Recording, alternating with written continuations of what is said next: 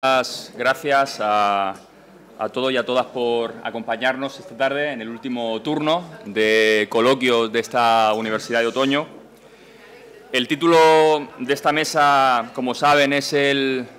¿Podemos cerrar la puerta, por favor, para que no se cuele ruido?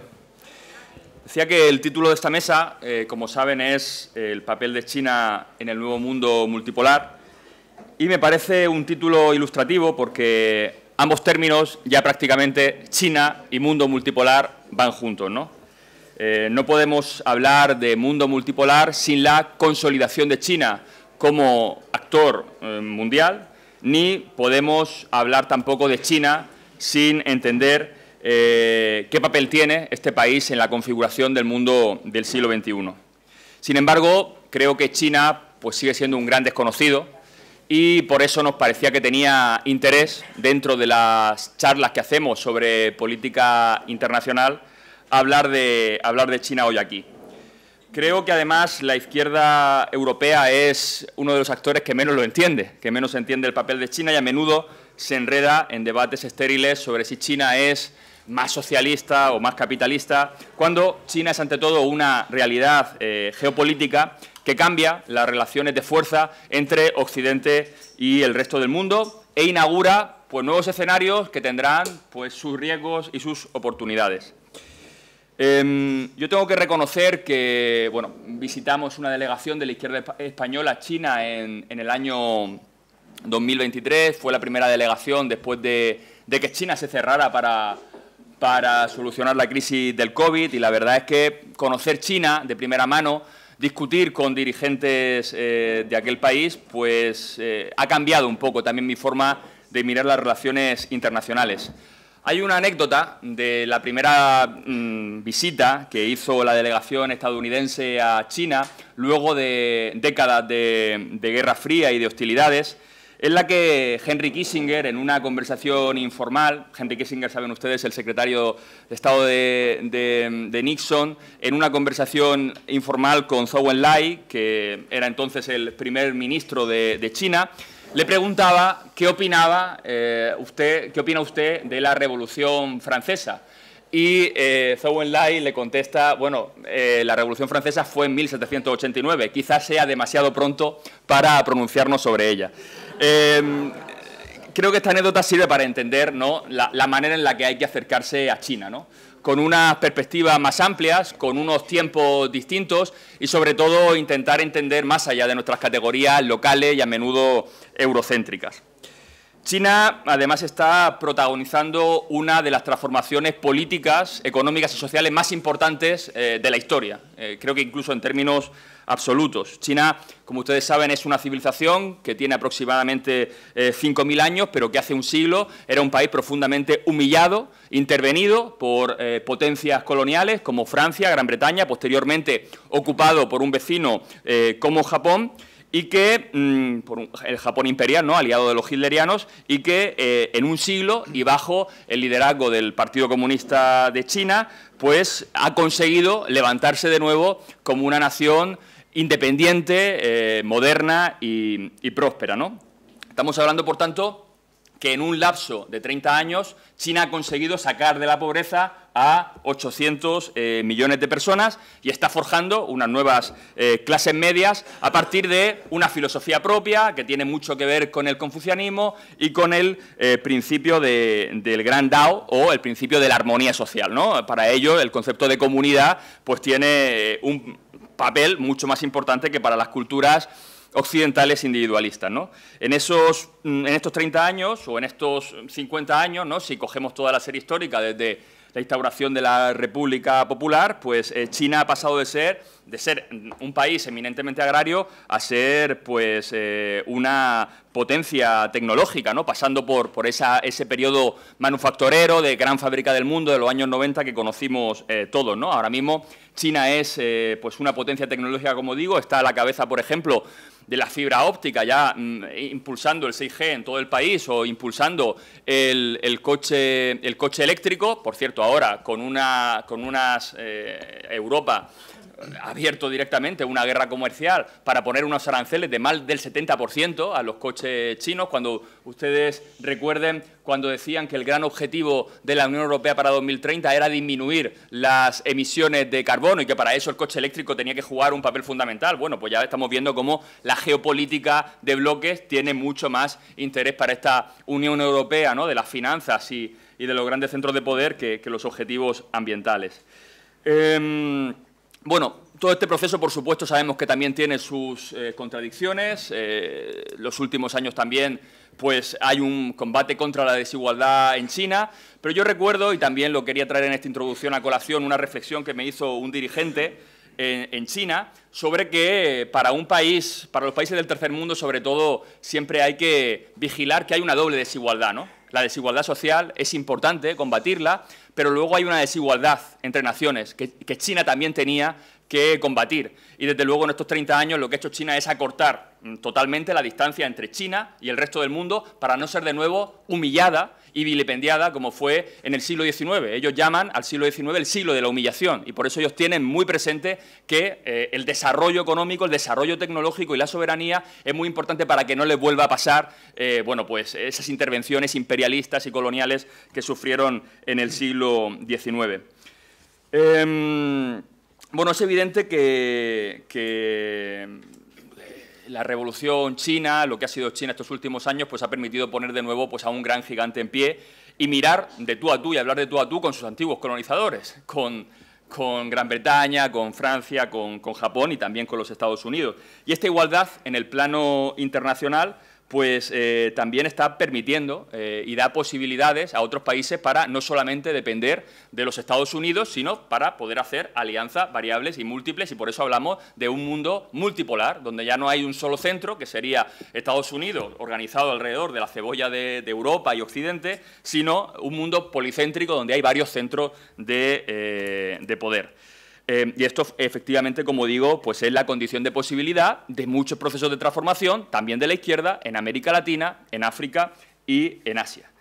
Bueno, ante esta realidad, yo creo que este debate también va a llegar aquí, ¿no? Eh, y los europeos y los españoles, pues tenemos que decidir un poco, pues qué queremos ser de mayores, ¿no? Si queremos seguir siendo, pues, una extensión del poder de los Estados Unidos y vamos a una guerra comercial con China y a una escalada de tensiones militares donde al final, como se está viendo con la guerra de Ucrania, los que pierden son nuestra economía, o si por el contrario, pues hacemos una reflexión eh, soberana eh, con la posibilidad de una inserción propia, independiente de Europa en este mundo eh, multipolar y aprovechar grandes oportunidades como son las de la franja y la, y la ruta de la que ahora, de la que ahora hablaremos. Bueno, para, comentar todas estas cosas, ¿no? que, lo menciono solo a modo de introducción, creo que tenemos eh, una, mesa de lujo. ¿no? Tenemos a Eduardo García, mm, él es eh, politólogo, máster en Relaciones Internacionales y analista internacional que, participa en medios como Canal Red, lo habréis visto ahí, Descifrando la Guerra, eh, o El Salto.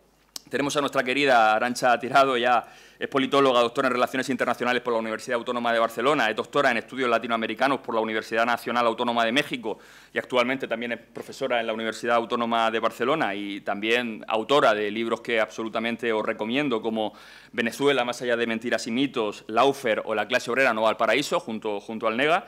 Y por último nos acompaña Pedro Barragán, que es eh, pues, uno de esos economistas de mirada amplia, de lo que antes ya se conocía como economía política. ¿no?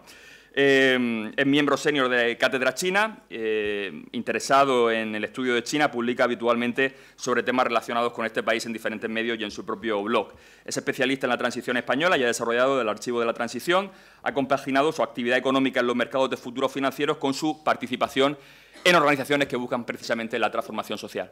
Eh, si os parece, este orden de presentación sería un poco el orden de la mesa. Yo plantearía intervenciones sobre 10-15 minutos y después de estas intervenciones pues eh, podríamos abrir al público un turno de palabra o incluso yo lanzar alguna pregunta disparadora que, sirviera para estimular el debate. Por mi parte nada más y les doy la palabra a ellos.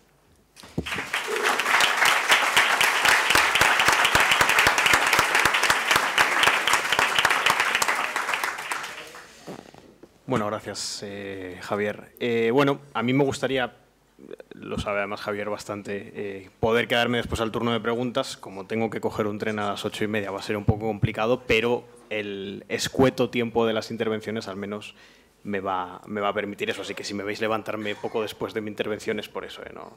Eh, en cualquier caso, recomiendo que os quedéis porque tanto las intervenciones de mis compañeros de mesa como sin duda el turno de preguntas van a ser muy enriquecedores.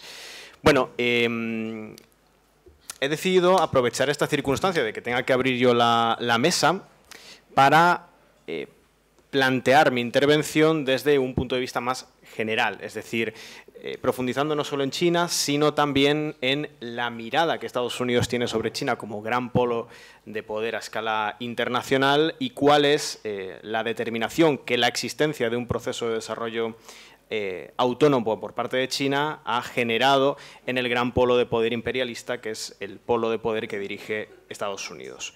Porque si hablamos de polos, y efectivamente lo que nos ha traído la emergencia del, proyecto económico y político del Partido Comunista de China es un mundo multipolar, tenemos que hablar realmente mm, de dos realidades muy diferentes. Por un lado tenemos un polo el principal polo de poder internacional, todavía a día de hoy, que es el polo liderado por Estados Unidos, que es un polo además organizado, articulado, con eh, cerca de 80 años de existencia y con una política exterior coordinada entre sus distintos actores y que además ha sido bastante eficiente durante bastantes décadas a la hora de defender sus, eh, sus intereses. Y por el otro lado tendríamos una suerte de polos que son variados, que van cambiando, que van alternando, que no están articulados y que por ahora son eminentemente emergentes.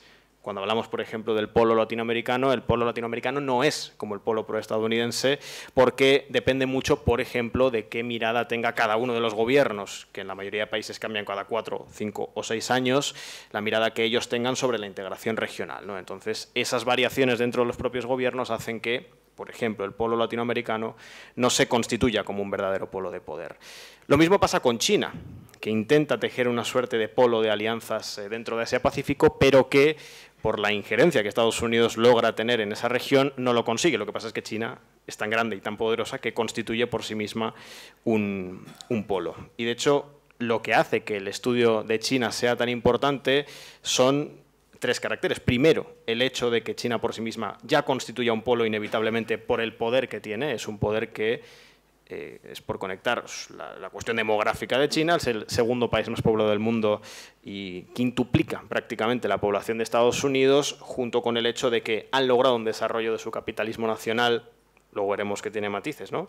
Eh, de manera autónoma y soberana, junto con el desarrollo de unas capacidades militares que, si bien no están a la altura de Estados Unidos, empiezan a ser capaces de ejercer una cierta persuasión en la injerencia que Estados Unidos intenta hacer en el Asia-Pacífico. Y luego una tercera característica que eh, hace que... Mm, eh, bueno, las otras dos características realmente que hacen que el estudio de China sea necesario Primero, es una más de, orden metodológico, ¿no? desde la perspectiva del marxismo, una de las definiciones, creo yo, más acertadas de lo que es el, em, socialismo, los procesos socialistas, es justamente que son eso, procesos.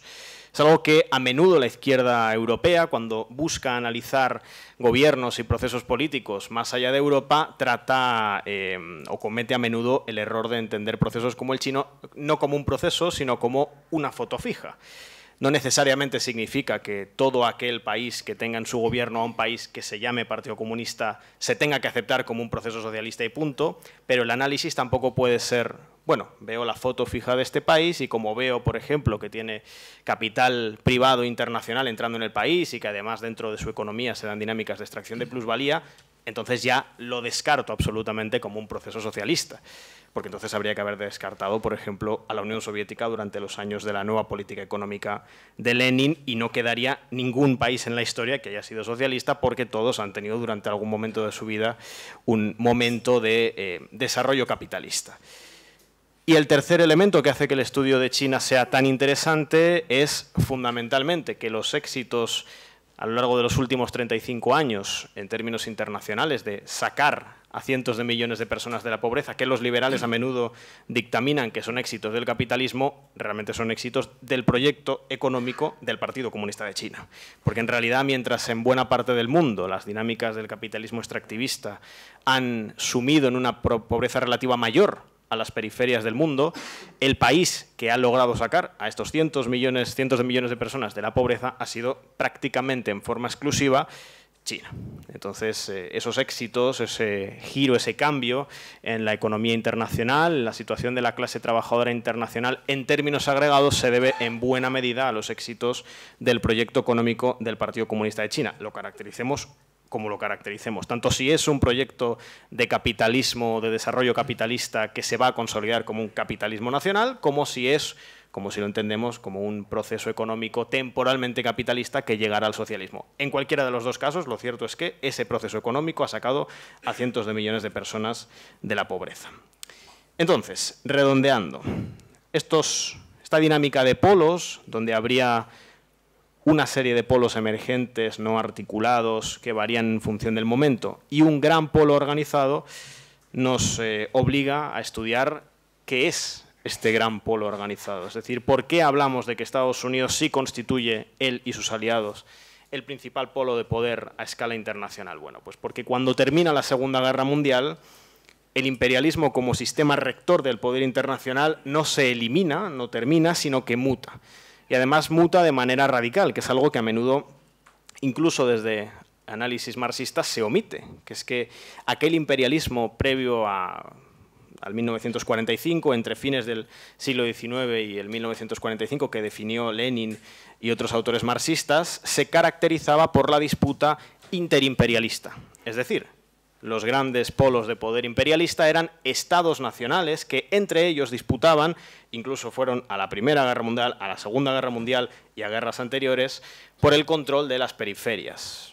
Sabemos la disputa entre el imperialismo ruso y el japonés por la disputa del Asia-Pacífico, la disputa entre los estados imperialistas europeos por el control del continente africano, todo ello lleva a dos grandes conflagraciones hasta que termina en 1945 con la victoria de, los, eh, de uno de los bloques imperialistas frente a otro de los bloques imperialistas. Afortunadamente el bloque imperialista, el menos malo, ¿no? por así decirlo, con bastante diferencia. Pero la característica fundamental del mundo post-1945 fue la gigantesca destrucción a la que se sometió a los países europeos, a los países imperialistas europeos, los cuales quedaron en una situación tan horrorosa, una infraestructura absolutamente destruida, necesitarían décadas para reconstruir sus economías nacionales, pero uno de ellos no, no tuvo bajas en su territorio, no tuvo prácticamente destrucción en su territorio, salvo en algún territorio de ultramar, que fue Estados Unidos. Y Estados Unidos, tras 1945, le ofrece tácitamente un pacto a los estados imperialistas, a todos, tanto a los que habían ganado la guerra, Reino Unido, Francia y otros, como a aquellos que la habían perdido, Japón o eh, incluso Alemania, como incluso a aquellos estados que se habían beneficiado históricamente del extractivismo económico que generaba el dominio imperialista en las periferias, pero que tampoco habían tenido un papel predominante en términos militares, como los países escandinavos. Y el pacto que les ofrece es bueno, vamos a un nuevo imperialismo. Obviamente no con estos términos, pero lo que estaba tácito era ir a un nuevo sistema imperialista en el que ya no iba a haber disputa interimperialista, sino que se iba a conformar un sistema de poder que muchos autores han venido a calificar como el imperialismo colectivo o colectivizado, liderado por Estados Unidos. Ya no se iba a pugnar, ya no iba a haber una guerra entre Francia y el Reino Unido, Francia, Alemania, eh, Japón con Estados Unidos. Eso ya no iba a ocurrir. Ahora todos se iban a poner debajo del paraguas de Estados Unidos y juntos, colectivamente, iban a afrontar los retos que el imperialismo históricamente había tenido que afrontar. Ese imperialismo colectivo como sistema de dominación internacional liderado por Estados Unidos y al que los distintos polos imperialistas eh, se, subordinaron con mayor o menor poder relativo, pues actores como Alemania, Reino Unido, Francia conservaron un cierto poder de decisión, sobre todo en sus ámbitos históricos de influencia, como por ejemplo el sudeste asiático en el caso de Francia, donde pues, Estados Unidos daba un cierto margen de actuación a Francia, y otros estados menores, nuevamente, pequeños estados europeos, estados escandinavos, algunos actores o, el propio Japón, delegaban, pero se beneficiaban del liderazgo estadounidense. Eso opera de una manera muy específica hasta 1989 o en sí hasta la disolución del bloque soviético, porque hasta entonces la prioridad de este bloque imperialista colectivo había sido, primero, buscar el colapso del principal polo de oposición, del principal espacio contrahegemónico a nivel internacional, que era evidentemente la Unión Soviética, y además coordinarse en la represión de los movimientos de lucha de clases, de los movimientos del, movimiento obrero organizado en las periferias y de los gobiernos antiimperialistas, algo que vimos de manera absolutamente cruel en América Latina durante aquellos, eh, aquellas décadas con las operaciones dentro del Plan Cóndor. Cuando el imperialismo colectivo logra efectivamente el colapso de la Unión Soviética, entran en una etapa que dura menos de 20 años, realmente hasta el 2008, que es la del sueño o la ensoñación unipolar. Es decir, ya está, ya hemos triunfado, no hay Unión Soviética, no hay grandes movimientos obreros organizados, no hay grandes gobiernos antiimperialistas que puedan confrontarnos y lo único que queda es la gestión tecnocrática del dominio imperialista colectivo sobre las periferias, a las que vamos a seguir explotando, a las que vamos a seguir eh, robando sus recursos naturales y de las que vamos a seguir beneficiándonos de su mano de obra barata. Barata porque nosotros la abaratamos con las dinámicas del comercio desigual, no porque esos trabajadores decidan, ni siquiera esos países decidan que sus trabajadores eh, sean baratos. En 2008 eso cambia, y no necesariamente por la crisis, aunque coincida, sino por la llegada al poder de Barack Obama. Barack Obama y su administración hacen una lectura correcta sobre el, sistema internacional, que es que ahora volvía a haber un actor contrahegemónico. Ese actor contrahegemónico era China, que de alguna forma había traicionado la imagen que los propios estadounidenses se habían hecho de China.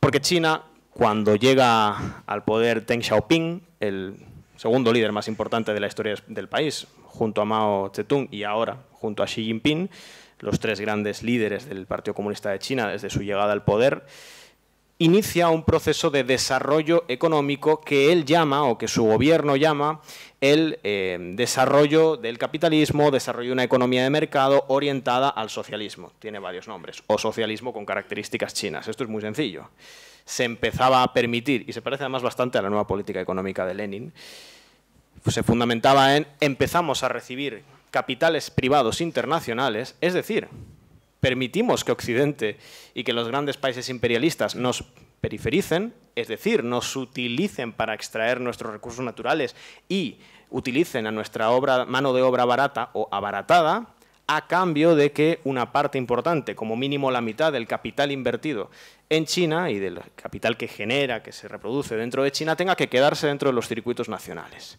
Y además el Estado chino, dirigido por el Partido Comunista de China, decide, nosotros además vamos a dirigir cómo este capital se va a utilizar. Vamos a dar grandes ideas matrices, grandes ideas marco para que las empresas muchas de ellas públicas, pero no necesariamente públicas, desarrollen al país de manera integral, a punto tal que las grandes empresas chinas tenían que acatar eh, unos requisitos muy estrictos, unos planes muy estrictos bajo, em, bajo la amenaza de ser incluso expropiadas. Alguna lo fue, de hecho. A lo largo de esos años, en la prepotencia de las élites estadounidenses, que siempre han visto así a las periferias, pensaron que cuando China alcanzase un nivel de desarrollo relativamente decente en su sistema de producción capitalista, más o menos creciese la clase media dentro del país, eventualmente iba a haber un cambio político, el Partido Comunista de China iba a perder el poder y básicamente China iba a pasar a formar parte del entramado de poder colectivizado liderado por Estados Unidos. El Partido Comunista de China nunca quiso eso, curiosamente se lo decía, pero Estados Unidos tampoco hacía mucho caso, o sea, no es que le engañase realmente, el Partido Comunista de China les decía nosotros nos estamos desarrollando y estamos permitiendo tu capital para eventualmente ser una potencia e ir contra ti. Estados Unidos decía, sí, seguro, no te preocupes. Bueno, así fue. Más o menos a lo largo de la primera década del siglo XXI, Estados Unidos comenzó a darse cuenta de que, en efecto, así había sido. Y que, Estados, eh, y que China empezaba a tener poder económico, por ejemplo, para eh, poner en jaque algunas de las industrias estructurales de la economía estadounidense. Y ahí es cuando el gobierno de Barack Obama, previamente la propia Hillary Clinton lo había explicado en varios artículos, introduce una política de Estado que se ha mantenido como el elemento número uno rector de la política exterior estadounidense desde aquel año, tanto mediante la administración de Obama, la administración Donald Trump, la administración Joe Biden y tanto Trump ahora como Harris. También mantienen que va a seguir siendo la prioridad absoluta de Estados Unidos por encima de Oriente Medio, por encima de Europa, por encima de América Latina, que es lo que se vino a denominar el pivot to Asia, es decir, el giro hacia el Asia-Pacífico. La prioridad ya no era Oriente Medio, seguía siendo importante, no era la prioridad. La prioridad ya no era cuidar de lo que históricamente habían llamado el patio trasero, América Latina, seguía siendo importante, pero no era la prioridad ni mucho menos lo era Europa, porque daban por hecho el apoyo de los Estados europeos ad eternum, hiciera lo que hiciera Estados Unidos. No se equivocaron tampoco, porque en efecto es así. Y al poner como prioridad absoluta a China, reflejaron, ilustraron al mundo que en ese mm, proyecto histórico de las élites estadounidenses, que se define en todo momento, en todo contexto durante los últimos 150 años, como pase lo que pase, tenemos que impedir que quien sea el actor contrahegemónico en ese momento se consolide. Ese es básicamente el elemento número uno de la eh, estrategia internacional de Estados Unidos. Si existe un actor contrahegemónico hay que destruirlo. Punto. Nosotros tenemos que ser el sheriff internacional, tenemos que ser el actor número uno en el entramado internacional, tenemos que ser el líder dentro de los líderes, es decir, el eje, el, polo que dirija a los grandes actores imperialistas, y si surge un actor contrahegemónico, como la Unión Soviética en su momento y como ahora China, sea como sea, tenemos que hacer que colapse. Eso es lo que están intentando ahora mismo con China. ¿Qué es lo que pasa? Ese pivot to Asia, a día de hoy, marca la política exterior estadounidense en 2024. Y esto es curioso porque incluso con el genocidio en la franja de Gaza abierto, con la guerra a la que Israel quiere llevar a la región de Oriente Medio, con la guerra en Ucrania, con las dinámicas políticas en América Latina, con los golpes de Estado de orden antiimperialista que tienen lugar, por ejemplo, en la región del Sahel, con todos esos movimientos, las élites de los dos grandes partidos estadounidenses siguen diciendo, bueno, lo principal es China.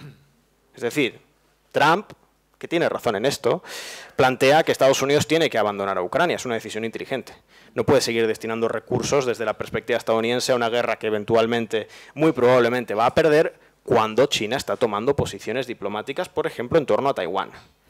Entonces, em, ese pivot to Asia ha venido fracasando desde el momento en el que se implantó, al menos en su objetivo fundacional, que era buscar, como digo, el colapso de China. Porque y aquí entramos a preguntarnos qué es China, qué narices es China, China es un proceso político, ahora mismo.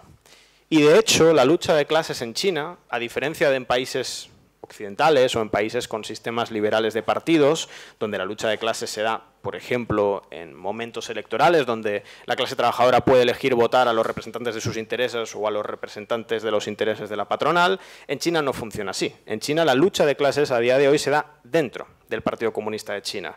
Dentro del Partido Comunista de China hay fundamentalmente dos grandes líneas de pensamiento. La que plantea, ok, muy bien el modelo de desarrollo económico capitalista, pero en el año 2049, cuando cumplamos 100 años, tenemos que expropiar buena parte de las empresas y proceder al socialismo una vez nuestro país esté ya plenamente desarrollado y tenga las capacidades militares para defenderse de cualquier tipo de agresión estadounidense. Y luego hay otra línea, que lo que plantea es, bueno, está muy bien el folclore, está muy bien la hoz y el martillo, la bandera roja, están muy bien las fotos de Mao, pero ¿cuándo vamos a ser un país verdaderamente capitalista y cuándo vamos a ser un país imperialista?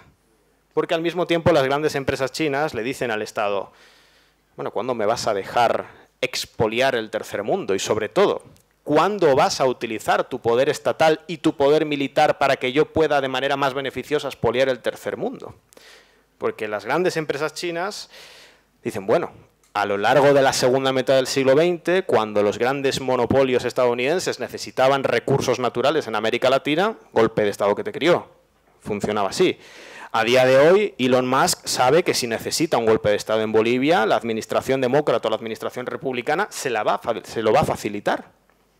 Eso funciona así en la economía estadounidense y en la proyección internacional de la economía estadounidense. Las empresas chinas ahora mismo no pueden estar seguras de esto.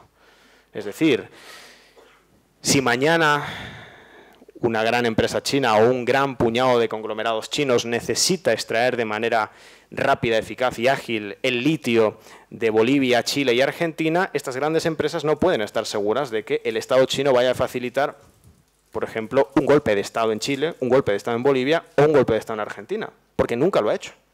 Esa es la gran diferencia a día de hoy entre el modelo de desarrollo chino y el modelo de desarrollo estadounidense. Esto lo caracterizó eh, Claudio Katz, un eh, autor marxista argentino, cuando planteó bueno, que del proceso de desarrollo chino se pueden decir muchas cosas, pero hay una que no se puede negar, que es que lo han logrado sin disparar un solo tiro fuera de su frontera. Nunca. De hecho, los dos conflictos eh, militares que tiene abiertos China son uno en la frontera Cachemira, etcétera, con, con la India, que es un conflicto de carácter fronterizo, independientemente de con quién vayamos ¿no? en esa disputa como si fuera un partido de fútbol, es una disputa de carácter fronterizo, o la cuestión de Taiwán, que es un elemento irresuelto de su particular guerra civil. Entonces, eh, esto ya, por ir cerrando, nos deja tres posibles salidas del proceso político económico de China. Dos de ellas no le gustan nada a Estados Unidos y una sí. La primera sería que, mediante la presión militar que Estados Unidos hace en el Asia-Pacífico, tomando posiciones en Taiwán o logrando alianzas con estados como Corea del Sur o como Japón, el AUKUS con Australia y Reino Unido o incluso las posiciones que está tomando con islas del Pacífico, lograr el colapso del sistema político y económico chino y que China adhiera al sistema imperialista colectivo de Estados Unidos. Es poco probable ahora mismo. Y luego hay dos salidas, que ninguna de ellas beneficia a Estados Unidos. Una, que dentro del Partido Comunista de China gane la lucha ideológica y la lucha de clases, aquellos sectores que quieren que China se convierta en un Estado imperialista al uso, mantenga o no mantenga el folclore, la izquierda europea tendrá que estar atenta, porque el folclore lo van a mantener. Lo que pasa es que si transicionan a un Estado imperialista no nos lo van a decir, evidentemente, pero tendremos que saberlo porque, entre otras cosas, pueden generar un golpe de Estado, iniciar una guerra de ocupación imperialista, etcétera. Y luego la tercera salida sería que ganen la lucha de clases aquellos sectores dentro del partido que plantean lo contrario. Hemos logrado el desarrollo del capitalismo, para el 2049 lo habremos logrado consolidar y tendremos un ejército capaz de persuadir cualquier agresión de Estados Unidos, vamos a transicionar al socialismo. Si ocurre esto último, el mundo volverá a tener un polo que, independientemente de sus contradicciones, pueda empujar, por ejemplo, a la lucha de clases en las periferias. Por eso China preocupa tanto a Estados Unidos porque en cualquiera de los dos escenarios más probables, tanto el que le gusta o le debería gustar a la izquierda europea como al que no debería gustar a la izquierda europea, ninguno de los dos beneficia a Estados Unidos en absoluto. En uno tiene un competidor imperialista y volveríamos a la lógica de la disputa interimperialista con un gran polo de poder y en el otro habría un Estado socialista desarrollado como lo fue en su momento la Unión Soviética. Así que, básicamente, va a haber que estar muy atentos de lo que ocurra en Taiwán, de lo que ocurra en las islas del Pacífico, porque es ahí donde Estados Unidos pone su foco. Presionando militarmente a China, cree que puede evitar que China siga desarrollándose económicamente en línea, además, con la guerra comercial. De momento no está siendo exitoso, pero bueno, sabemos que la política internacional puede dar giros contundentes eh, y lo que hace cinco años era inimaginable, hoy lo tenemos en Ucrania, lo tenemos en Oriente Medio y puede cambiar también en Taiwán.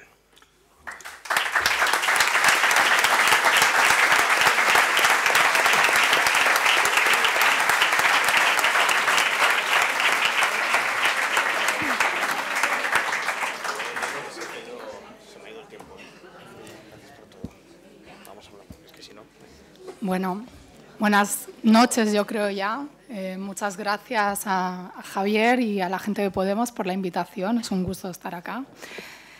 Em, después de esta magnífica panorámica que ha dado Eduardo, es una lástima que no se quede porque me gustaría pues, también establecer algún tipo de diálogo con algunas cosas que él ha dicho, pero bueno, confío en que más adelante se pueda dar. Yo he preparado una, intervención un poco en la lógica de lo que me pidió Javier, que es enfocando en, una de mis áreas de especialidad, que no es China, es América Latina, y triangulando, por supuesto, porque todo lo que sucede en América Latina tiene que ser visto desde la óptica de los intereses de Estados Unidos, triangulando con ese otro actor que es sin duda y todavía pues, el hegemón del sistema internacional, es decir, la potencia, la superpotencia, igual que China es una superpotencia, la superpotencia que todavía, a pesar de todo, ostenta la primacía eh, en la jerarquía del sistema internacional. Sabemos que no hay democracia, no hay una jerarquía de poder donde todo se dirime en última instancia por cuestiones eh, no tanto de, valores, de principios, sino del ejercicio, de la imposición del poder en, en, último término eh, por lo militar. Y que digo a pesar de todo, ¿por qué? Porque es una superpotencia que ya desde hace décadas los propios analistas, observadores estadounidenses vienen percibiendo que se encuentra en una crisis. Una crisis que obviamente también se relaciona con esta pujanza eh, algunos autores dirían no es la emergencia de China, es la reemergencia, porque China siempre ha estado ahí, lo que pasa que nosotros no la hemos visto ¿no? desde nuestro, nuestra posición eurocentrada, nuestra visión occidentalocéntrica de, del mundo, de la historia, que también un poco ha apuntado Javier por aquí. Entonces, obviamente, eh, conforme Estados Unidos, por una serie de factores, algunos internos, otros de su proyección externa, ha ido en ese declive hegemónico, esto ha sido aprovechado por China para posicionarse de una manera silenciosa, pragmática, mm, sin aspavientos, muy a, como hace China las cosas en el sistema internacional, para ir incluso convirtiéndose pues, en uno de los eh, acreedores de la Reserva Federal de Estados Unidos, en uno de los principales socios comerciales de eh, muchos de los países de América Latina en un lapso de tiempo eh, muy, muy corto, incluso lo que hoy Estados Unidos establece como pues, su competidor estratégico en su estrategia de seguridad nacional, al mismo nivel que la Federación de Rusia, pero yo creo que incluso un paso más allá. ¿no? Y esto se vio pues, en el último documento que, que hizo la OTAN en la, en la cumbre de Madrid, donde por primera vez se menciona a China como un desafío sistémico, o sea, un actor internacional que desafía el propio sistema y que pone en riesgo el qué. Pues obviamente los intereses de Estados Unidos que en la retórica se revisten de esta expresión que seguramente ahora les suena mucho porque se repite a raíz del conflicto primero entre Ucrania, Rusia o OTAN, Rusia, como se quiera llamar, y luego, pues también con el genocidio de Israel en, Gaza y ahora la ofensiva contra Líbano, que es el orden, este orden internacional basado en normas. ¿Qué es el orden internacional basado en normas? Pues es eh, toda la arquitectura que se construye después de la Segunda Guerra Mundial, en buena medida a imagen y semejanza de, de, Estados Unidos, toda una serie de instituciones, de valores que se podrían resumir en los valores de Occidente que están también en crisis y precisamente pues, por estos dos conflictos, ¿no? por la respuesta que ese Occidente está dando en diferentes ámbitos a, lo que está sucediendo, a la guerra Rusia-Ucrania y el agravio comparativo, la doble vara de medir respecto pues, a lo que está pasando en, Gaza. Eh, ya desde un tiempo, eh, a esta parte, Estados Unidos viene construyendo e, esta amenaza de, bueno, siempre, ¿no? ya lo ha dicho Eduardo, de cómo eh, Estados Unidos concibe a cualquier retador hegemónico, como, sería el caso de China, pues como un enemigo al que hay que pues, aniquilar y hay que evitar, ¿no? hay que destruirlo a como de lugar y también las posibilidades de una cosa de la que iré ahora, que es de que ese actor pueda construir en torno a sí un bloque de poder contrahegemónico. ¿no? Se trata de aniquilar esa posibilidad. Entonces, eh, ya de un tiempo a esta parte se viene construyendo eh, pues, la conceptualización ideológica o superestructural de lo que es una amenaza que es muy material. ¿no? Entonces se habla de las democracias iliberales, ¿no? Rusia, la Federación de Rusia sería una democracia liberal. China no sabemos si sería iliberal o ya directamente autocracia, dictadura, pero también sabemos que realmente el problema no es un problema ideológico, ¿no? es un problema que tiene que ver con el reparto de poder. Em, claro, unas premisas, antes de meterme en el tema de em, América Latina, un poco a raíz de cosas que decía Eduardo eh, sobre los polos de poder y demás. Hay autores que impugnarían la idea de que estemos en mundo multipolar, ¿en qué sentido? En el sentido de que haya polos alternativos, es decir, que planteen mundos contrapuestos, como pudiera ser en la época de la bipolaridad de la Guerra Fría, donde teníamos una Unión Soviética que con todas sus contradicciones, pragmatismo y demás, sí planteaba pues, un modelo de acumulación mm, socialista, unos valores, una ética, era producto de una revolución mm, que puso el primer Estado obrero de la historia, etcétera, etcétera. Esto eh, hoy en día muchos autores no lo ven así, ¿no? ni siquiera con la China socialista, comunista, como se le quiera llamar.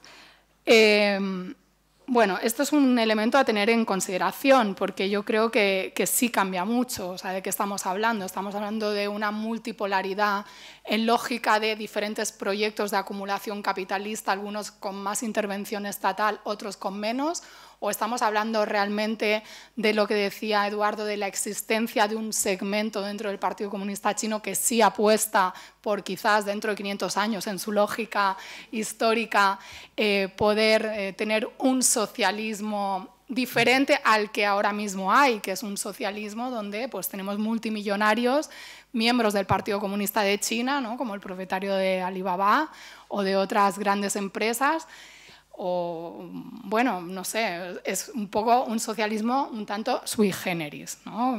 la vía china al socialismo. Está bien porque cada, cada país, y también en América Latina ha habido las vías chilena al socialismo, la vía cubana al, socialismo, y no se trata de que a los europeos, a la izquierda europea, le tenga que gustar ese socialismo, le tiene que gustar a los chinos, ¿no? le tiene que gustar y claro, también en, en China pues hay, hay, disidencias en el sentido de, desde una perspectiva de, izquierdas. Bueno, em,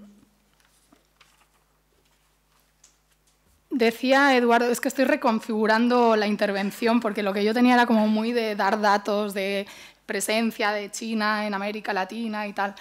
Eh, Decía, ¿no? Si, a China le hace falta, no le hace falta, entroncándolo con el tema este de, los golpes de Estado y demás en América Latina, bueno, es que a, China no le hace falta, bueno, no le ha hecho nunca falta eh, interferir en, los regímenes internos, en si hay una democracia, porque a diferencia de Estados Unidos, China no es un actor hipócrita, no exige, o sea, China quiere hacer negocios quiere eh, tener unas relaciones basadas en el respeto recíproco, o sea, quiere que no se metan con su elección de su vía al desarrollo y tampoco interferir en la vía al desarrollo que tenga ese otro Estado. Entonces, no es independiente. Yo creo que el otro día, por ejemplo, hace unos meses, pues se puede ver ese pragmatismo chino en la visita que hacía la presidenta peruana actual, vamos, yo no, creo por aquí está Laura Arroyo, puede explicar. A mí me parece esta señora que, que, no tiene ningún tipo de, legitimidad ¿no? para ser presidenta de Perú y representa lo peor, ¿no? está ahí pues, usurpando un poder a través de un golpe de Estado y ha ido a China y se ha reunido con los máximos dirigentes y, y China que uno pudiera pensar, ¿no? es más pues un estado de izquierdas o más eh, simpatizante, tiene lazos más estrechos, alianzas estratégicas con algunos de los países que cuestionan el imperialismo estadounidense, como Cuba, Venezuela, Nicaragua, bueno, pues eh, ahí está, ¿no? haciendo negocios con Perú, que es un sitio donde tienen grandes inversiones, intereses en el litio, etc. Es decir, eh, China va, a, eh, seguir ganando en su lógica, como apuntan en su política exterior hacia América Latina y en otros países, lógica win-win, todos ganamos. ¿no? Entonces, ese pragmatismo yo creo que también explica que, no sea un debate, ¿no? o sea, que las empresas chinas en, buena medida, pues eh, con un porcentaje mayoritario, muchas de ellas del Estado, pues pueden eh, invertir en cualquier sitio porque no es problema el, tipo de régimen político de donde van sus inversiones. Eso sí, es importante que eh, esas inversiones, esa inversión extranjera directa de las empresas chinas, eh, tenga aprobación por parte del Estado. Es decir, se prioriza, claro, que haya pues, unas alianzas estratégicas, pero a lo que voy es que esas alianzas estratégicas pueden ser muy flexibles, porque no están fincadas tanto en principios, sino en unas necesidades de desarrollo propio que son las que apuntan pues, la proximidad o no.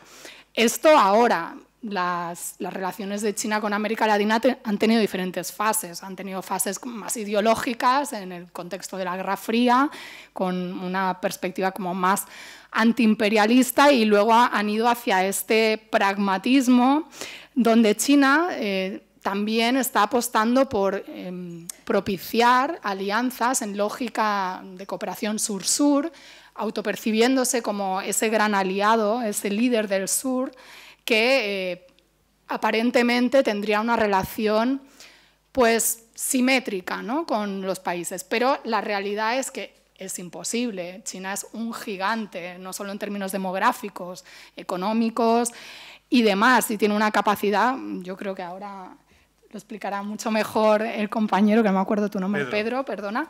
Em, es decir, que, que, China, al lado de las economías de países eh, que se han insertado en el sistema internacional de manera dependiente, como son todas las economías de América Latina y el Caribe, que han tenido una relación además, que han pasado de, un colonialismo, aunque ahora se niegue, ¿no? porque eran virreinatos, ojo, ¿eh? que no, eran colonias, ya lo sabéis, ¿verdad?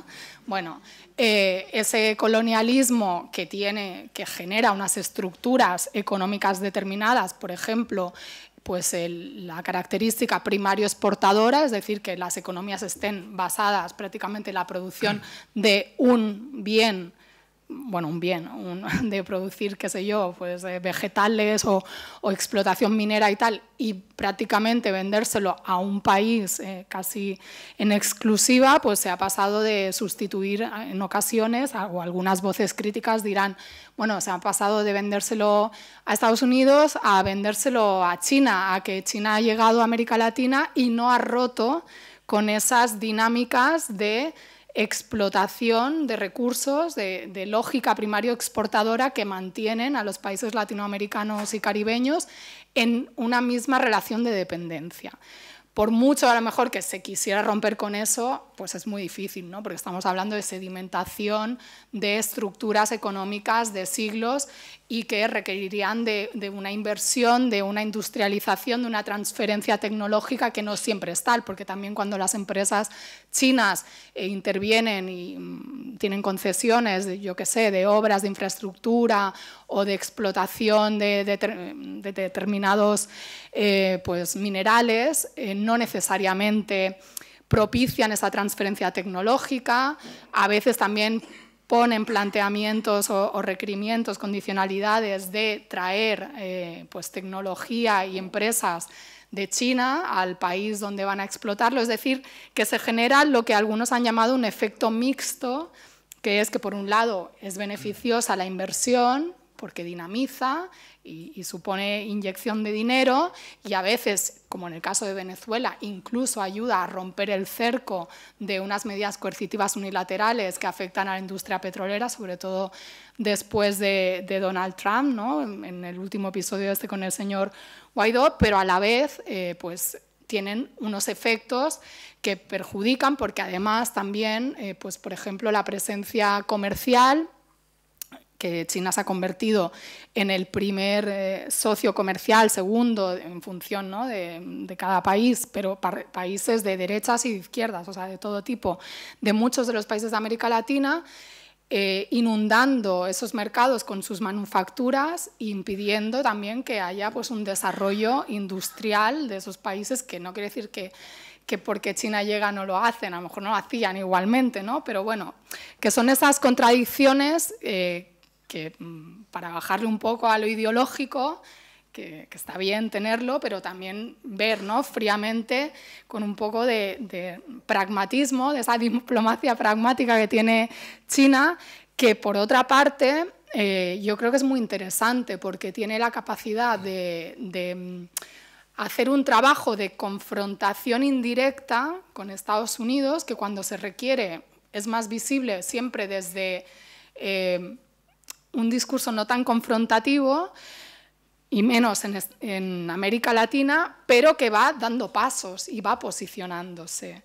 Y va posicionándose además de una manera que Estados Unidos ya está percibiendo cada vez más con gran preocupación. Cuando te metes a ver las páginas de los think tanks y analistas estadounidenses de sobre China, bueno, están obsesionados con la contención a China y a la Federación de Rusia en América Latina porque para ellos está tocando temas que ya, eh, bueno, para ellos todo afecta a su seguridad nacional, ¿no? también Venezuela es una amenaza para su seguridad nacional, pero el mismo, por ejemplo, mm, hecho de que países de América Latina decidan comprar la tecnología 5G a China, que Huawei se posicione, ni se diga que China pretenda hacer un, un eh, eh, ¿cómo se llama lo de Panamá?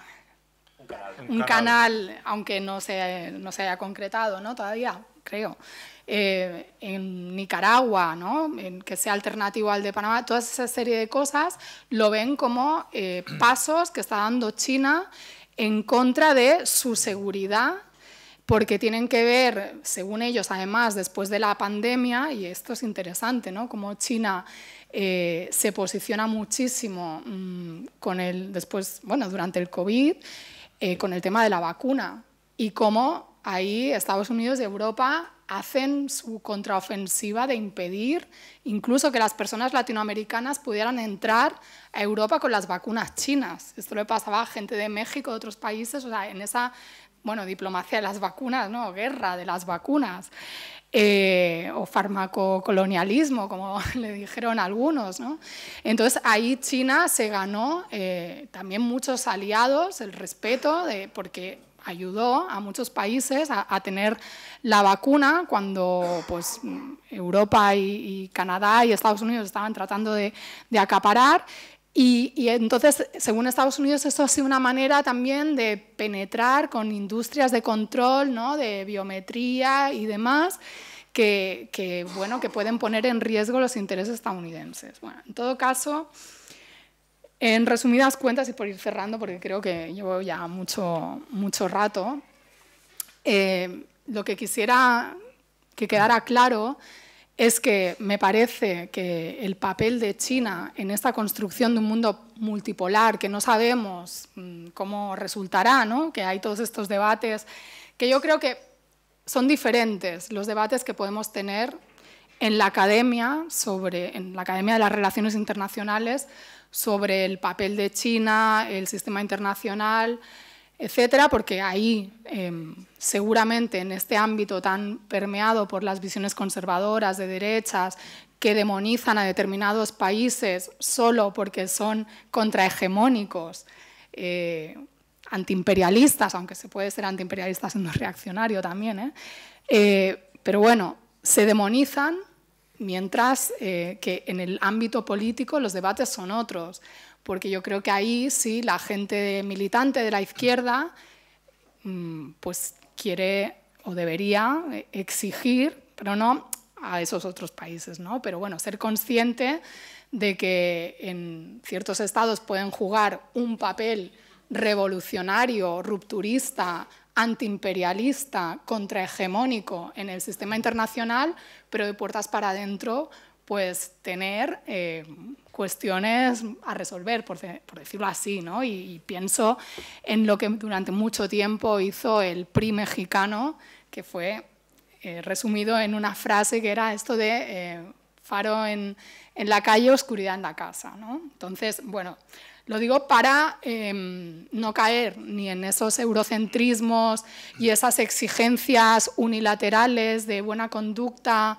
a Venezuela y mientras nos da igual, ¿no? Si Arabia Saudí manda decapitar un, no a nosotros, obviamente, sino a otro. ¿no?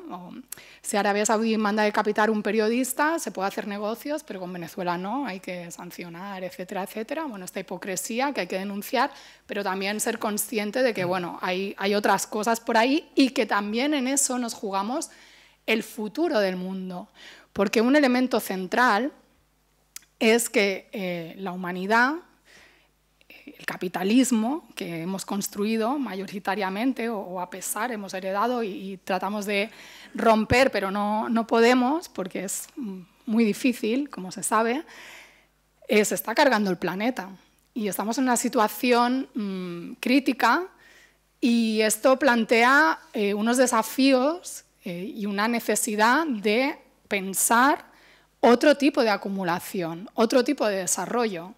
Y China ha hecho muchos pasos ¿no? en el desarrollo medioambiental, en tomar conciencia, más allá de, esa propaganda negativa de, país con un montón de emisiones, etcétera, etcétera. En los últimos años ha hecho pasos en ese sentido, pero eh, es cierto que tiene unas necesidades de desarrollo que llevan a que fuera de sus fronteras, pues China esté metidísima en industrias mineras de muchas partes del mundo, no solo en América Latina. A mí me tocó ver, por ejemplo, anécdota, el año pasado en Indonesia, en la selva de Borneo, o sea, mm, perdidísimo de la vida, cómo las empresas chinas estaban explotando el cobre de, esa zona, arrasando con, con, la selva.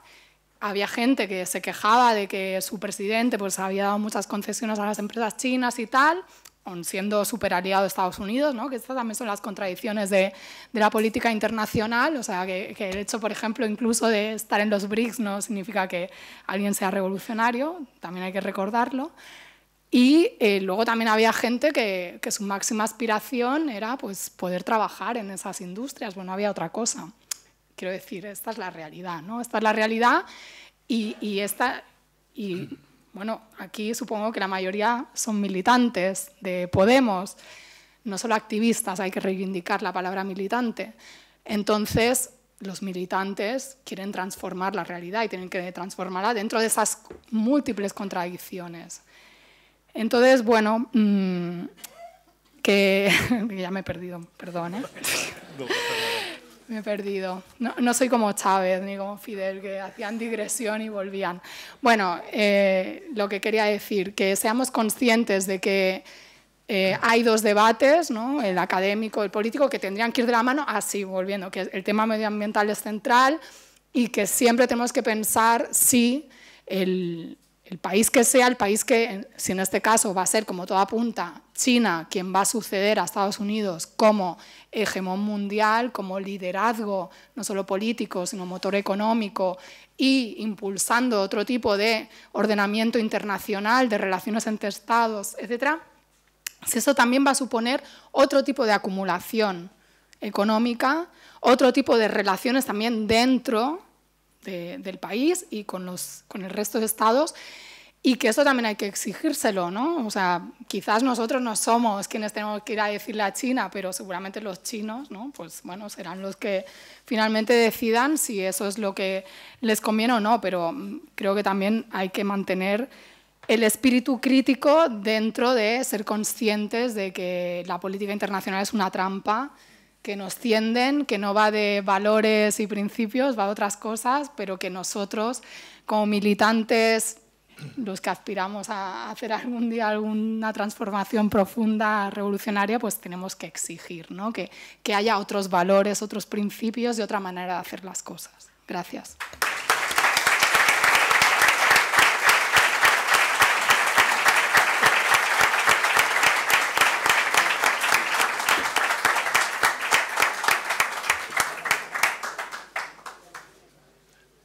Bueno, dejamos salir a los que pierden el tren y vamos... Eh, bueno, darle las gracias a Javier por invitarme a participar esta tarde con vosotros, que para mí pues es eh, de un cierto orgullo, porque yo creo que Podemos es hoy la izquierda más consciente en España de lo que, como decía mi compañera hace un momento, lo que se juega la humanidad en estos momentos en el futuro inmediato, que es en, el, en la guerra, no lo vamos a llamar conflicto, en la guerra de Estados Unidos contra China.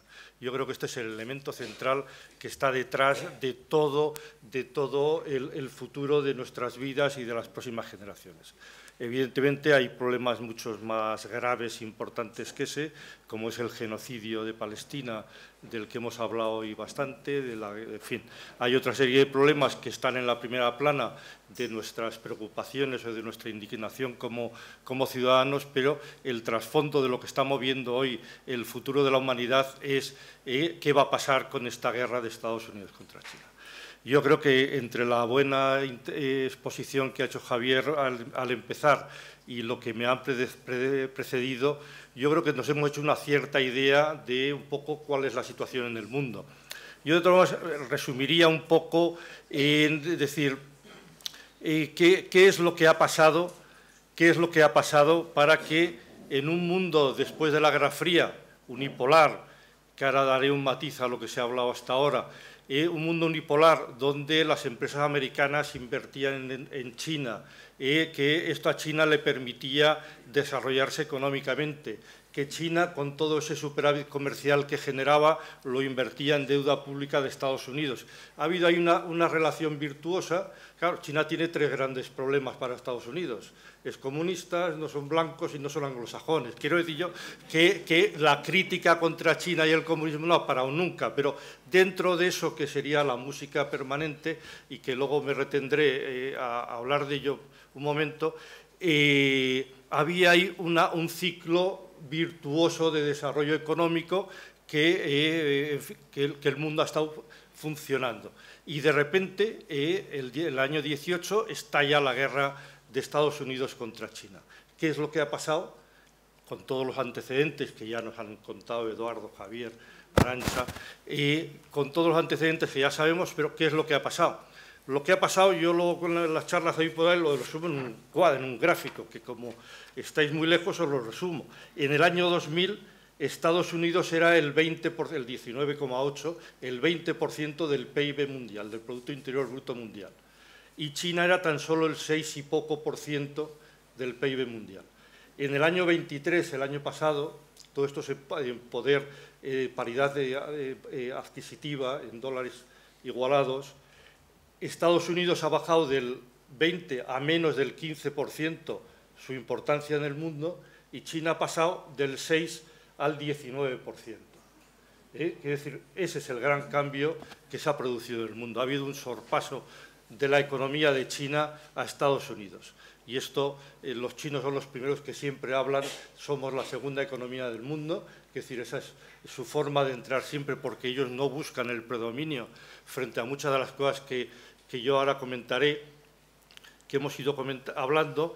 Y bueno, esto es lo que ha provocado que eh, para Estados Unidos no pueda aceptar que otro país y además un país de las características que ya he resumido en forma de broma eh, de China, le sorpase a nivel, a nivel económico. Y entonces ha declarado una guerra total, que no es una guerra arancelaria, es una guerra comercial total contra China con el objetivo de quebrar la economía china. Y esto es algo que viene intentando. Quiero decir, en el año 2020 Biden ganó las elecciones frente a Trump, y empezó a gobernar en el año 21 y comenzó una mucho mayor presión por parte norteamericana contra China y en la guerra contra China. Y bueno, el cómo se desarrolle, cómo se desarrolle esta, esta guerra de Estados Unidos contra China, pues nos jugamos el futuro varias generaciones, como estábamos diciendo. De alguna forma, la, la perspectiva yo creo que no está en que esta guerra económica se derive en una guerra militar, que ha comentado en algún momento Eduardo. Yo creo que no, entre otras cosas, porque el, poder militar ya de China es importante, que decir, el, país que ha sido capaz de hacer esta revolución económica no lo ha hecho solo en la siderurgia y en, la, y en, los, y en los, coches, sino también lo ha hecho en la, en la producción de los armamentos. Quiero decir yo que Estados Unidos tiene garantizada su destrucción si quisiera lanzar una guerra contra China y yo estoy absolutamente convencido de que no la va a lanzar. Quiero decir, yo, vamos a tener posiblemente mejor otras guerras como las que estamos viendo, pero no esa guerra eh, mundial, eh, global, que posiblemente sería la aniquilación de la, de la humanidad al nivel del desarrollo actual. Esta guerra económica lo que busca es romper la economía china, eh, lo han intentado eh, primero con los aranceles, que fracasaron, luego prohibiendo a todas las empresas chinas comerciar o que, eh, se comerciase con ellas, darles el caso de Huawei, de TikTok, de, etcétera, de ZCE.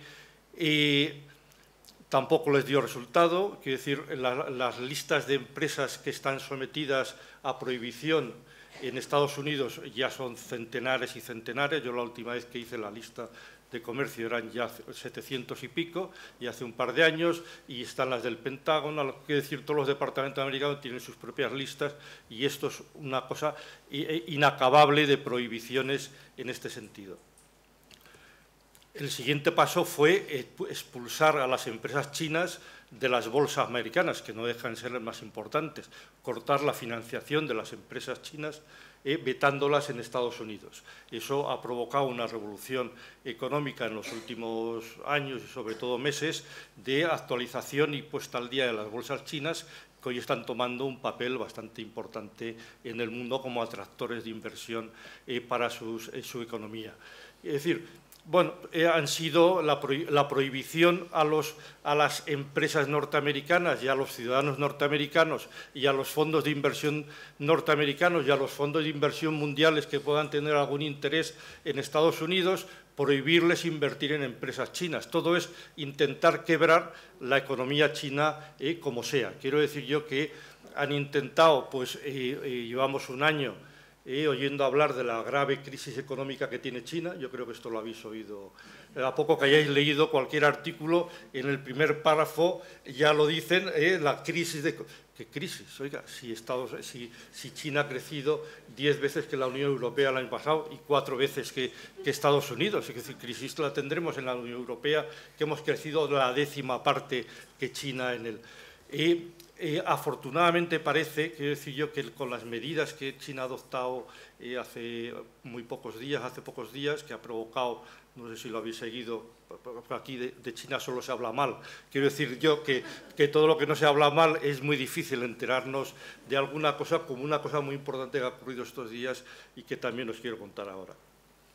Y ha habido un fuerte petardazo de las bolsas de las bolsas chinas, han subido un 30%, justo antes de la fiesta nacional china, que celebraba el, 75 aniversario de la República Popular China, eh, y hacen, ellos tienen varias vacaciones al año, hay una semana de vacaciones que le llaman las vacaciones de otoño, eh, pues han estado cerradas las bolsas, han vuelto a reabrir, han seguido subiendo, eh, y además haya habido un cierto cambio en la, en la prensa norteamericana en el sentido de que ya no están y parece que ya eh, el hundimiento de la semana que viene de la economía china eh, ya no, tiene, no se sostiene y han dejado de... Eh, y bueno, parece...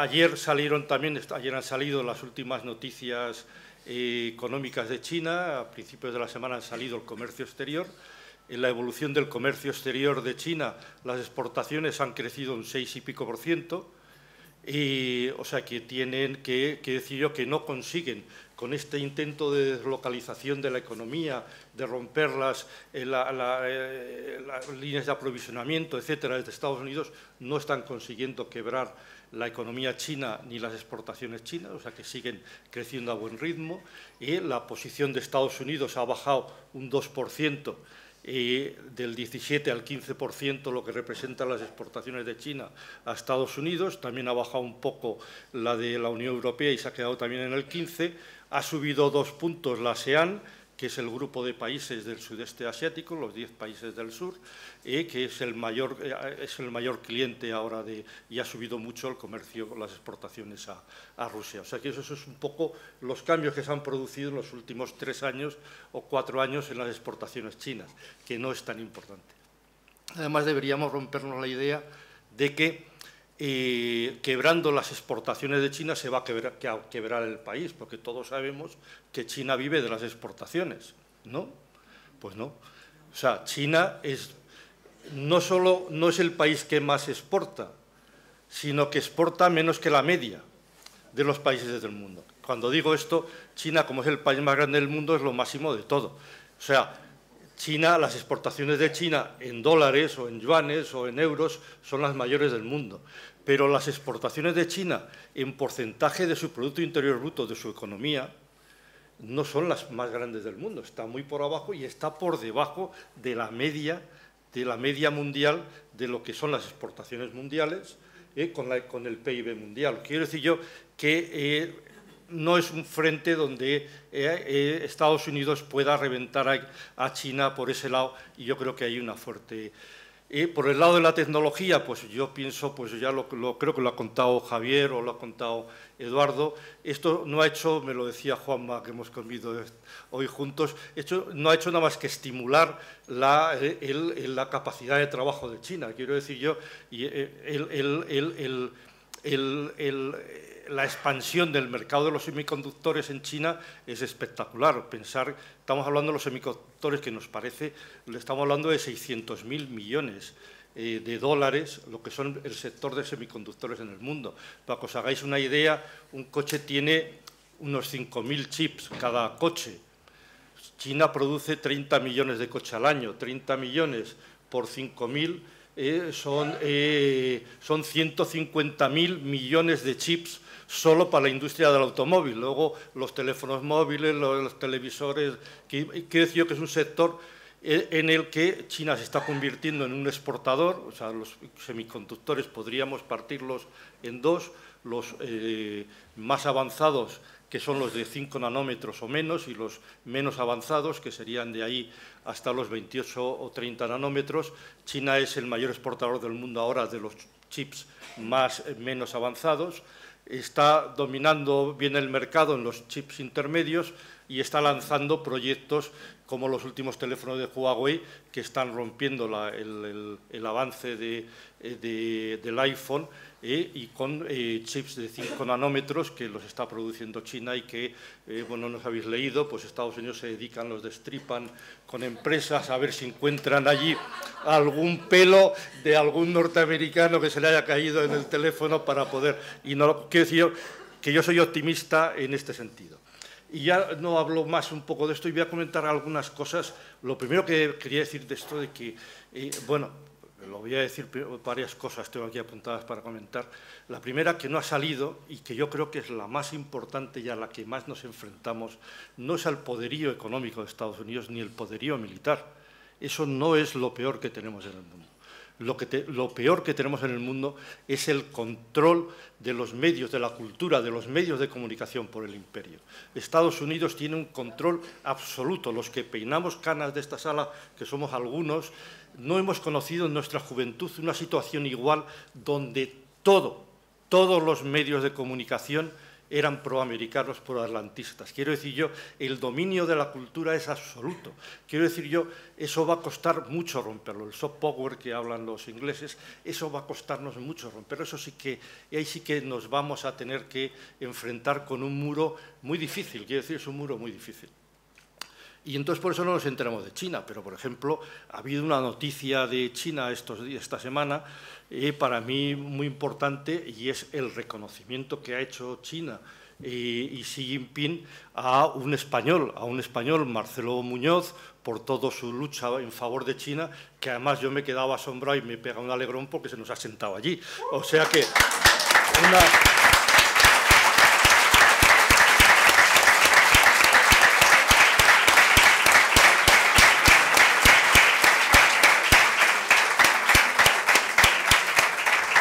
Te, veo, Marcelo, con la mano vendada. Espero que no te hayas caído en el viaje a China.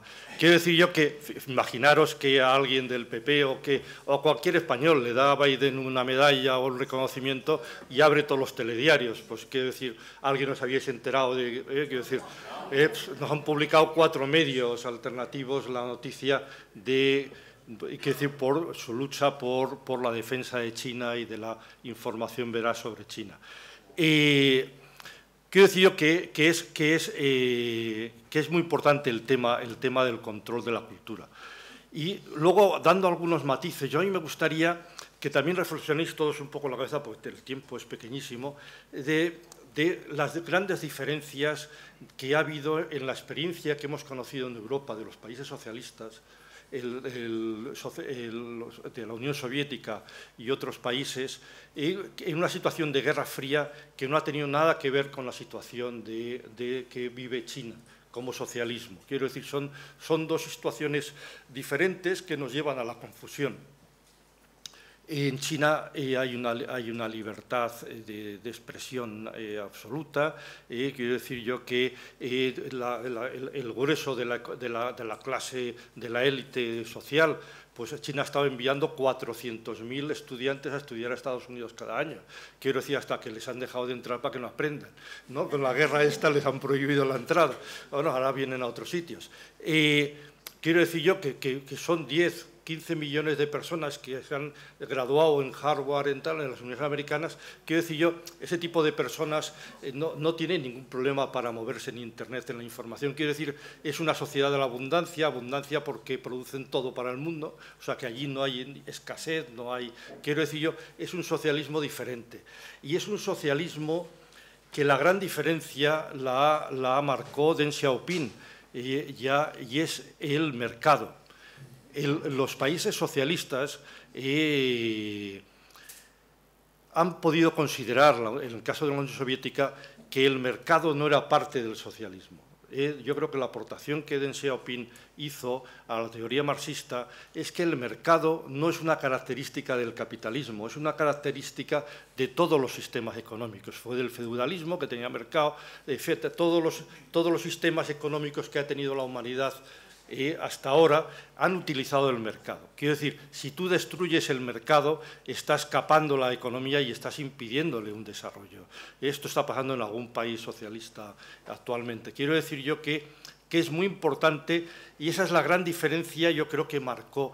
Entonces, el mercado no es capitalismo. El mercado, el utilizar el mercado, el que las empresas compitan en el mercado, no quiere decir que China ha abrazado el capitalismo eh, esto es para hacer una tesis y un debate exclusivamente sobre esto y no me quiero extender mucho. Pero me refiero que el, capitalismo no vendría por ahí. China es un país socialista y si alguno me seguís en los artículos que publico en Rebelión y en algún medio más, pues tengo alguno de, de estos días sobre por qué China es un país socialista, que lo define como país socialista, y yo creo que que, es un país socialista que tiene una economía de mercado y que tiene unas características y que tiene unas características chinas. Quiero decir, la idea que efectivamente está en el, en el manifiesto comunista, yo soy marxista, en el manifiesto comunista figura que el comunismo, el socialismo, eh, supone la propiedad pública del Estado de los medios de producción. Y también lo dijo Lenin. Quiero decir yo que el marxismo-leninismo ha defendido en los, sus textos fundacionales que la, que la propiedad pública de todos los medios de producción era la característica del socialismo. Esto lo ha roto China en el sentido de decir no se necesita que fue la gran pugna que hubo entre China y Rusia y que Rusia se hundió porque Gorbachev tomó unas medidas y China las contrarias, y China triunfó y Gorbachev se vino abajo y Estados Unidos. Quiero decir, eh, no es necesario que el Estado sea el propietario de todos los medios de producción, no varía mucho. En España la explotación de haber trabajado en la telefónica cuando era pública, cuando era privada. Quiero decir yo que no está ahí la clave en el mundo moderno, es diferente que hace 150 años a mediados del siglo XIX. Otra cosa, el imperialismo. El imperialismo y las luchas de... En, China hay, desigualdades. tengo por aquí alguna amiga que me sigue, ha seguido en alguna otra conferencia previa que hemos hablado de las desigualdades en China, donde se generan, que es en, las diferencias entre el mundo rural y el mundo urbano. Pero eh, sin entrar eso ahora, porque no hay tiempo, yo lo que quiero decir es que yo no tengo, que decir, hombre, hay de todo en, todo en todas las partes, y en un país de 1.400 millones de habitantes os aseguro que tiene que haber de todos. Yo pongo la mano en el foco que allí hay alguna persona que defienda lo más eh, que me queráis decir. O sea que yo no dudo que no haya comunistas en el Partido Comunista que defiendan el, el ir al capitalismo y tal. Yo lo que digo es, yo me leo todos los días un par de periódicos chinos y yo no lo he visto nunca, eh, no, lo conozco. Eh, quiero decir, es algo absolutamente marginal. No digo que no exista, que seguro que existe, pero yo creo que el Partido Comunista tiene una posición muy clara que enlaza con la historia del Partido Comunista, con la historia de China, con toda su filosofía no solo marxista, sino confuciana, y, es que China busca, lo, ha dicho muy bien Arancha, el win-to-win, quiere decir, busca el ganar, ganar. No está buscando unas alianzas, alianzas ideológicas con otros países para hacer un frente. La posición de China es que llega a acuerdos que beneficien a todos los países que quieran hacer acuerdos con ellos. Quiero decir yo que esa es la clave y es lo que ha practicado siempre y además está en sus bases filosóficas y su ética personal confuciana eh, es lo que le... Es lo que le quiero decir, yo no, no veo esa, eso de decir China cuando sea más grande será el imperio que sustituya al imperio. No, eh, hemos tenido 500 años de historia de la humanidad que ha sido el imperialismo, eh, es una tristeza que ha oprimido a los pueblos y por ahí no debemos de decir qué va a ocurrir. Que decir, nadie sabemos lo que va a pasar en el futuro, pero yo digo que lo que hoy está haciendo China no es eso. ¿eh? Yo incluso, y entrelazando con el título de la conferencia de qué, qué nos hace China, China defiende las relaciones sur-sur. Yo me he traído aquí algunos datos porque hemos tenido, el mes pasado tuvimos la reunión de todos los presidentes africanos o primeros ministros en Pekín, la reunión anual que hacen, que aquí no, nos enteramos porque no, se publica, donde eh, analizan un poco eh, todas las relaciones y todos los planes de ayuda de China. En los últimos 11 años, del 2013 al 2024, China ha construido 10.000 kilómetros de ferrocarril en, África. 10.000 kilómetros de ferrocarril. Las líneas Mombasa-Nairobi, Addis Abeba-Djibouti, Abuja... Eh, en fin, no voy a hacer la lista. 100.000 kilómetros de autopistas y carreteras. En 11 años, 100.000 kilómetros de autopistas. En Kenia, Congo, Argelia, en fin... Eh, 100 puertos, en torno a 100 puertos. La de los aeropuertos no me lo he apuntado, no lo, puedo decir. Esta que es a mí la que más me impresiona, 66.000 kilómetros de líneas de alta tensión. O sea, ha electrificado China, 66.000. En España, ¿cuántos miles de kilómetros creéis que tenemos de línea de alta tensión? Quiero decir yo, 60.000 kilómetros de línea de alta tensión e, es, es un aporte al continente espectacular al que se han sumado 150.000 kilómetros de los nodos troncales de estas redes. quiero decir yo que la inversión de China eh, y el apoyo de China sur-sur es absolutamente espectacular. Quiero decir, China ya empezó apoyando a todos los movimientos de descolonización eh, y por la independencia. yo no sé si os acordáis de aquellas imágenes de la construcción del ferrocarril de Tanzania en los años 60, cuando China debía tener un PIB per cápita, una renta per cápita como la de Mali o inferior, y estaban allí los soldados y consiguieron hacer aquel ferrocarril que era fundamental para la emergencia y la independencia de Tanzania. Quiero decir que sigue en esa actividad de, fomentar las relaciones sur-sur, que es un poco la base de, la, nueva ruta de la seda, del BRI. Pero no solo, no han sido las infraestructuras en África, eh, ha sido la agricultura. Quiero decir, el hambre, el, hambre se ha reducido drásticamente estos años en África en muy buena medida gracias al apoyo de China, que ha hecho una revolución en las técnicas agrícolas, montando escuelas de capacitación agraria por todos los países, haciendo una revolución en los regadíos, cambiando todas las variedades de especies por especies mejor adaptadas a la, a la zona. Quiero decir, y ha aumentado la productividad agrícola en África de una forma espectacular lo ha hecho en la educación, financiando y construyendo escuelas y universidades en un montón de países. No solo construyendo escuelas, sino que además ha montado centros de formación de maestros, ha becado a miles de maestros que han ido a estudiar a China. Quiero decir yo que China tiene realmente una responsabilidad en las relaciones sur-sur que está practicando. Y lo practica con todos los gobiernos, sean del, del, color que sean. ¿no? Antes se ha mencionado aquí a Perú, pues no sé qué tardará mi ley en, en aterrizar en Pekín. Quiero decir yo... Ha dicho que en enero. Eh, quiero decir yo que, que eh, en fin, él, es el que tiene que comerse los sapos. Quiero decir yo que, que China no tiene... y la otra, eh, no sigo con esto, porque es que se nos va a marchar el tiempo. Tú, Javier, cuando quieras me echas y... El otro, el otro tema que va a estar de actualidad, que este espero que se oiga un poquito más esta semana, que es la reunión eh, de los países BRICS. Todos sabéis lo que son los países BRICS, los países BRICS Plus, eh, eh, con los cuatro, ahora hay que decir cuatro porque no hay forma de acabar de aclararnos qué está pasando con Arabia Saudita. Sabéis que Arabia Saudita desde hace tres días se le ha quitado de la lista y no sale un comunicado claro de, por qué no se ha acabado de integrar. Eh, pero bueno, participa, eh, participa en la reunión y en el que además un montón de países están solicitando, quiero decir, Malasia, Cuba, Venezuela, Bielorrusia, eh, no sé, la verdad es que no me, no me sé la lista, según tampoco ha salido una lista oficial de cuántos, en algún momento yo he leído en Rusia Today que eran 36 países los que estaban solicitando, pero no ha parecido demasiado, pero no lo han publicado la lista, no lo sé. Quiero decir, hay un cambio, porque ¿quién se está, quién se está uniendo dentro de los BRICS? Se están uniendo eh, países ideológicamente diferentes. Quiero decir, no hay, una, no, no hay un criterio ideológico de adhesión, bueno, me he dejado uno muy importante, de adhesión a los BRICS, Turquía, quiero decir yo que Turquía también lo ha solicitado.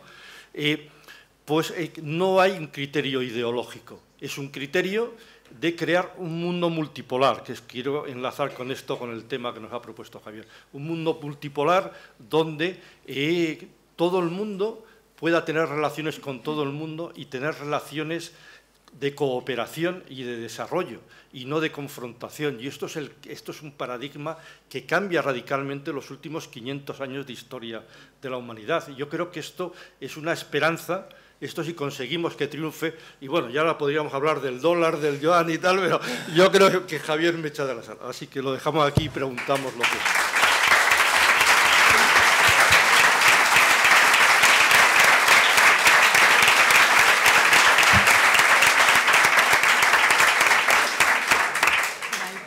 Bueno, quiero dar, quiero dar las gracias a los ponentes, creo que han sido ponencias de, altísimo nivel que invitan mucho al debate. No sé lo que tenemos de debate y voy a pasar el, turno al público, pero antes yo sí quería que el embajador de amistad con el pueblo chino, Marcelo Muñoz, que acaba de venir de recibir esa medalla de manos de Xi Jinping, pues dedique una, también nos diga unas palabras ¿no? de, estos últimos acontecimientos.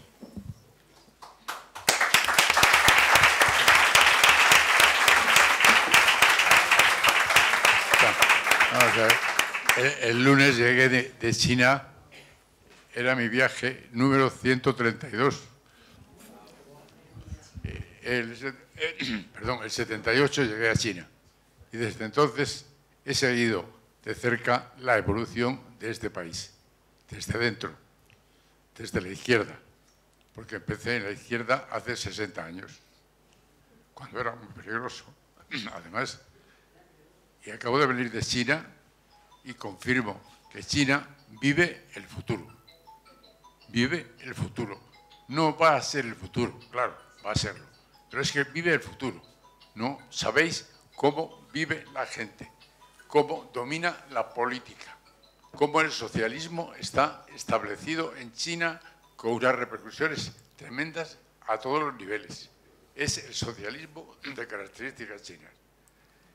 Mi conclusión hoy geopolítica, porque me he ido convirtiendo en analista geopolítica, geopolítico a través de estos 44, 46 años, mi conclusión geopolítica es que todo político de izquierdas que se precie tiene que hacer una opción radical entre el atlantismo, el imperialismo dominante por Estados Unidos con su aliada la Unión Europea, que se ha vendido a Estados Unidos, o China. La opción del futuro es China. Políticos. Primero, tengo que subrayar que estoy encantado aquí, encantado de oír lo que oigo, encantado de que Podemos se sitúe en este análisis político serio sobre China como algo positivo y si optamos por China, consecuentemente tenemos que empezar a conocer a China. Estoy oyendo un lenguaje político muy bueno, pero no coincide nada con el lenguaje que he oído estos días en China, en contacto y en debates de alto nivel con estamentos del partido y del gobierno. Hablan otro lenguaje, tendremos que aprenderlo. Están en otro nivel de desarrollo mental, político, ideológico, socialista. El mundo, para ellos, no es esto que nosotros pensamos. El mundo es que son China es el primer socio comercial de 142 países. En la ruta de la seda participan 154 países activamente, invirtiendo. Y hay una serie de acuerdos multilaterales completamente eh, nuevos, como es todo el acuerdo de la Organización de Cooperación de Shanghai, todo el oeste de Asia, que Asia es el 60% del mundo, y China es el 20% del mundo, e India es el 20% del mundo, y África es el 20% del mundo, y nosotros hablamos del mundo, otro mundo, el nuestro, pequeñito, la aldea. El mundo es todo eso. Y China está en ese mundo. No tiene que ponerse al habla y participar, sino que está ya en ese mundo completamente metido e implicado. Entonces, políticos de Podemos, conoced a China. Fijaros, el lema hoy en China es por un futuro compartido. Y esto no es una frase de Xi Jinping, no es una frase de Deng Xiaoping, es una frase de Confucio, porque el núcleo central de la política socialista del Partido Comunista Chino y de todo el imperio chino es el confucianismo, que no tenemos ni idea. El confucianismo es la filosofía que más ha influido en el mundo y no se estudia en ninguna facultad de filosofía de España. Estamos al margen del mundo. Ese mundo, otro mundo, es el que China vive. Por eso China vive el futuro. Bueno, pongámonos en ese futuro decididamente.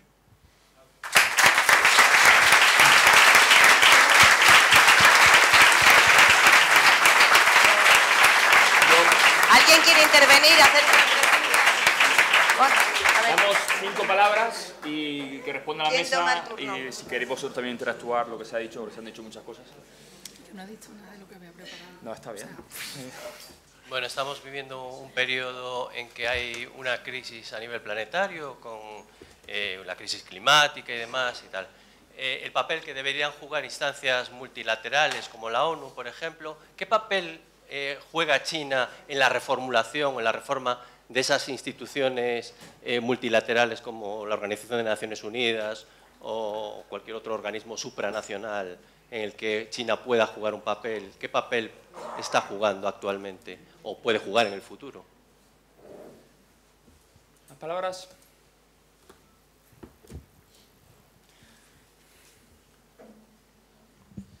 Tengo entendido que la deuda externa de Estados Unidos, buena parte de ella, está en manos de China. ¿Podríais confirmar el dato? ¿Alguna otra pregunta? Buenas tardes, muchas gracias. Soy una profana total. Me decía encantada de haber elegido esta ponencia. Es la tercera de esta tarde porque me está resultando interesantísima. Y en vista de lo que dices de, de la intervención china en África, ¿podrá ser la solución de ese éxodo? Yo vengo de Sevilla, en el sur estamos muy cerca de la frontera con África y, lo estamos padeciendo, mm, me refiero a qué solución le vamos a dar, que tenemos cientos de personas, de niños, de madres, llegando. ¿Será China? ¿Podrá ser China la que esté poniendo la solución? Una, una más y pasamos a la mesa. Bueno, muchas gracias. Eh, mi pregunta es, nosotros como izquierda estaríamos dispuestos a aceptar las negociaciones con cualquier régimen político, como hace China, que, no les importa tanto negociar con países que defienden los derechos humanos como los que... No países, gobiernos, más que países. ¿Estaríamos nosotros como izquierda dispuestos a aceptar eso? Si no hay otra... Una, una última y una última. Pau me está... No es una pregunta, simplemente se ha mencionado de pasada en dos ocasiones eh, la gran ruta de la seda. Yo creo que tiene una trascendencia enorme en este momento y que la va a tener infinitamente más. Y se ha comentado simplemente el nombre. Me gustaría que Pedro, como gran experto, nos hablase un poco al menos de, la gran ruta de la seda, que creo que merece la pena conocerlo. Bueno, le, he pedido a Arancha que me deje contestar a la primera pregunta. Que yo que... No, no, respondemos a todo ya y cerramos. Ah, bien. Bueno, quiero decir yo... yo sería mejor que cerraras tú. No. Y yo creo que es una pregunta muy interesante, la, que has hecho creo que ha sido tú, ¿verdad? Te señala así con el dedo. Y, ¿Cuáles los organismos multilaterales que hay en el mundo? Quiero decir, ¿cuáles son los organismos multilaterales que hay en el mundo? Yo diría que con, con poder, pues está la ONU, que la conocemos todos bien, está la Organización Mundial del Comercio, que es muy importante y que sabéis que la Organización Mundial, eh, eh, la Organización Mundial del Comercio ya no existe. Ya no existe porque como ya no tiene el dominio Estados Unidos de ella, ha decidido bloquearla y entonces como está su voto no se pueden renovar los órganos, los órganos no se renuevan, no puede tomar ninguna decisión y está bloqueada para impedir que tome medidas a favor del comercio justo, porque no quieren comercio justo. Los que han defendido la libertad de comercio, la Europa, Estados Unidos, ya no quieren la libertad de comercio. Entonces, la, la Organización Mundial de Comercio pues, les hace y luego tenemos las instituciones financieras, que son fundamentalísimas en el mundo, que es el Fondo Monetario Internacional y es el Banco Mundial, y que vienen de Bretton Woods. Bretton Woods es un acuerdo donde al caer el, patrón oro de que las monedas sean intercambiables por oro, el dólar, etcétera, se llega a un acuerdo y es el comienzo del dominio del dólar en la que hemos vivido toda nuestra generación y eh, que se basa en dos instituciones, el Fondo Monetario Internacional y el Banco Mundial, que tienen las dos la sede en Washington y que se reparten entre Estados Unidos y Europa. Estados Unidos nombra al presidente del Banco Mundial y Europa nombra al presidente del Fondo Monetario Internacional. Entonces, eh, ¿qué pasa? Eh, estos, dos organismos se, acordaron que el sistema de votación era por el tamaño económico de los países, porque eran instituciones financieras. Pero claro, ¿qué pasa ahora? Si es que los BRICS son el 47% de la economía y el G7 eh, no les llegan ni a la sola los zapatos. Entonces, se niegan a cambiar, las fórmulas están equivocadas, las fórmulas de cálculo del poder económico de los países no son correctas y se niegan, quiero decir, los BRICS que tienen el, eh, más de la mitad de la población del mundo y, el 40 y pico por ciento de la economía del mundo tienen, eh, no quiero decirlo de memoria, pero está por el 20 y poco por ciento, mientras que Europa y Estados Unidos el G7, lo ponemos en el G7, el, porcentaje que tiene de votos es decisivo y mayoritario en estos organismos. Quiero decir, ¿cuándo se van? Pues parece que no se va a arreglar eso nunca. Parece que, que Estados Unidos se enroca y Occidente y lo que está viendo son desarrollos de nuevos organismos internacionales que pueden dar salida a las necesidades de los países en desarrollo, que sería el Banco, el banco de los BRICS, eh, que se llama el, Banco, el BND, eh, eh, el Banco de los BRICS, para llamarle rápidamente, que la presidenta es la anterior presidenta de, Brasil, que su nombre es Roussel, y, el, y el Banco de Desarrollo Asiático, que también está en la misma línea y que puede... yo diría eso con respecto a los organismos. La deuda de Estados Unidos, yo te, cojo esa que es un poco mi especialidad, el tema, la deuda de Estados Unidos, la deuda de China con Estados Unidos, se escribe mucho, hay mucho escrito de esto, eh, eh, la, deuda de, China, la, deuda americana en poder de China se ha reducido en un 36%, pero no se ha reducido en un 36% por los procesos de desdolarización o por la guerra comercial. China ha sido el mayor tenedor de deuda de Estados Unidos, pero ha empezado a descender, ha descendido un 36%, un poco más de la tercera parte de la deuda de, en poder de Estados Unidos. De todas formas, lo importante no sería eso, lo importante es señalar algo que hemos oído todos aquí, y era la acumulación de, los balances de la FED. La FED es el banco, sería como el Banco Central norteamericano, el que sube y baja los tipos de interés que vemos en los telediarios, y estos se habían dedicado a aumentar el balance, que era comprar deuda americana ellos mismos para eh, financiar el, pelotazo financiero que ha hecho Estados Unidos estos años. Todos pensábamos que Estados Unidos iba a quebrar al, que, al empezar a reducir el balance de la FED ha reducido en más de un billón o dos billones de... Eh, además, China ha reducido, Brasil ha reducido también, por otras razones, y curiosamente quien ha asumido este balance de la FED han sido las familias norteamericanas. O sea, quiero decir que a veces... Eh, tampoco hay que soñar de que esto mañana se va a estrellar el imperio porque le quedan muchas...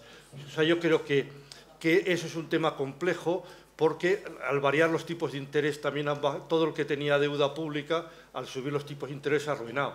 Porque como si yo tengo una deuda al, 2% y ahora se emite al, 7%, pues mi deuda vale mucho menos, que, es un tema complejo, pero yo diría, no hay, no hay una posición de China de desinvertir en deuda americana y la desinversión que ha habido, notable, ha sido por razones económicas del propio mercado de la deuda. Yo creo que eso sería la respuesta. Y las otras te las venga, sigue.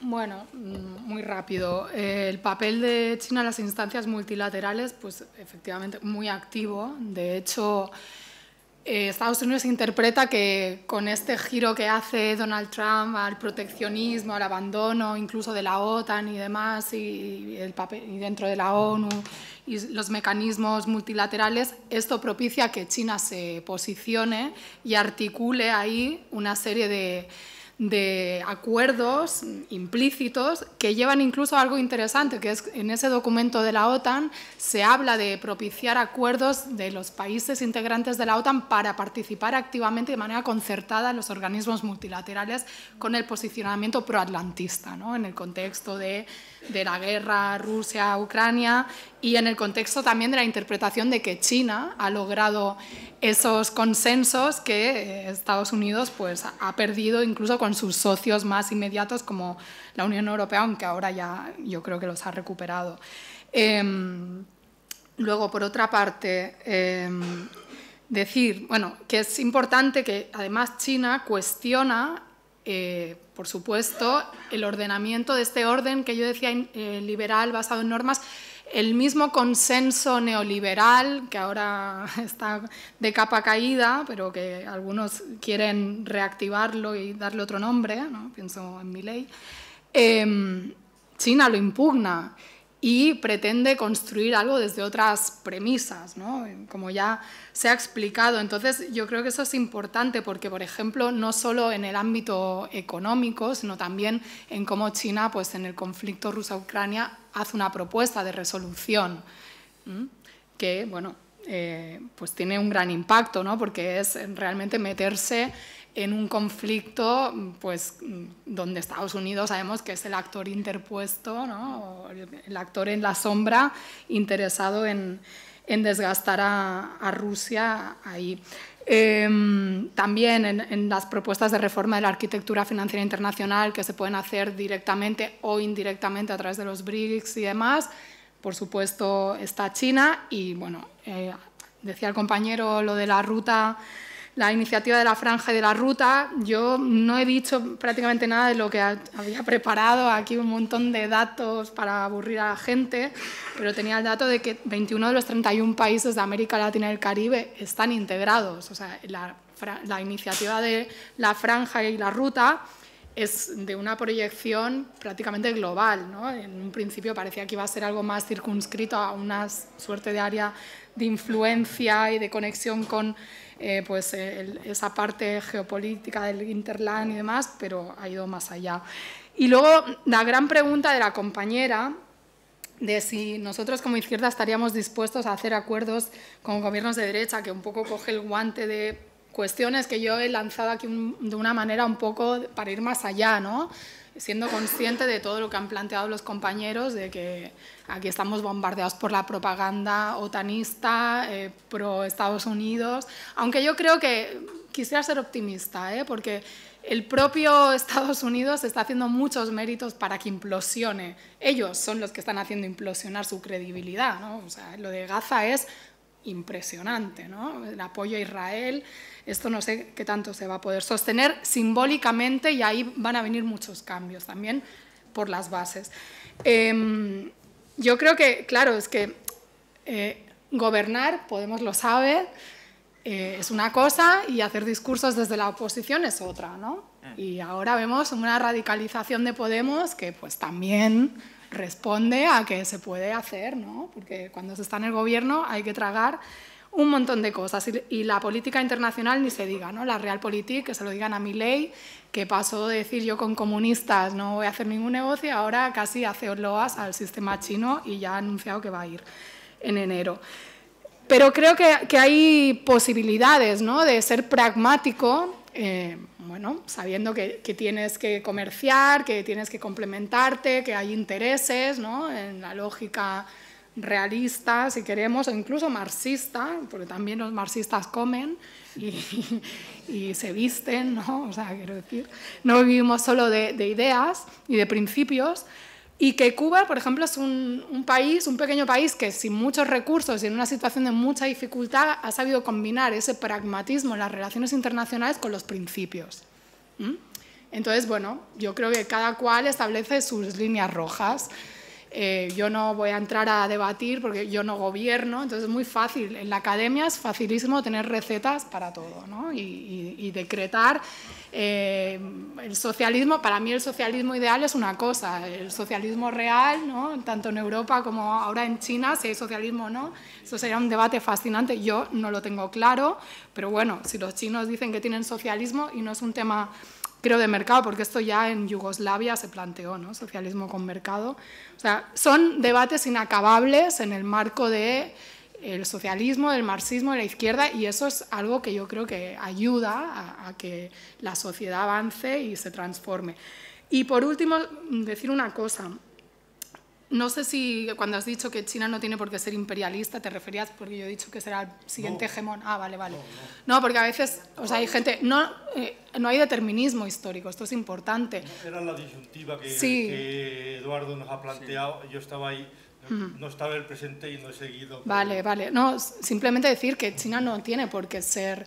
Eh, un hegemón o una superpotencia que tome el relevo de Estados Unidos y que vaya a repetir los mismos errores y demás, porque bueno, la distribución del poder eh, pues parece ser que va a ser diferente, todavía no se sabe, se apunta a esta multipolaridad, pero también va a depender de cómo esos recursos menguantes, que ahora China está teniendo acceso a ellos sin necesidad de, hacer guerras, cómo va a avanzar este mundo en, en, una crisis climática y también con unos recursos que son determinantes para las transiciones energéticas, para la seguridad de los estados, para el mismo salto ecológico, los recursos minerales que son, insisto, menguantes. O sea, ¿cómo van a actuar esos actores? Perdón que me ponga como académica. Eh, van a entregar, van a decir, tome usted los recursos, los repartimos. Eso sería realmente, ¿no? Pensar colectivamente, eh, bueno, poner a todos los estados en condiciones de igualdad, pero todos necesitan lo mismo. Bueno, es, es como los problemas de construir, no sé, en un colectivo pequeño de, una cooperativa de vivienda o de una célula o en un círculo de Podemos, relaciones, pero llevarlo a un nivel macro y a un nivel del sistema internacional con todo lo que eso implica. Entonces, es romper dinámicas de guerra, es romper dinámicas de confrontación, es apelar a la cooperación, pero, pero de verdad, ¿no? Veremos, no sé si estaremos aquí para contarlo, pero desde luego me parece fascinante. Gracias.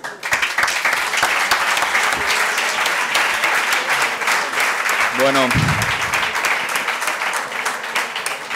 muchas gracias por estas dos horas eh, de debate. Creo que China al final lo que demuestra es que todo está abierto, que el futuro, como ha dicho, no está marcado, los pueblos también hacen el futuro y acabemos con una nota de optimismo, ¿no? Decía Mao Zedong, todo es caos bajo las estrellas, la situación es excelente, así que sigamos empujando. Gracias.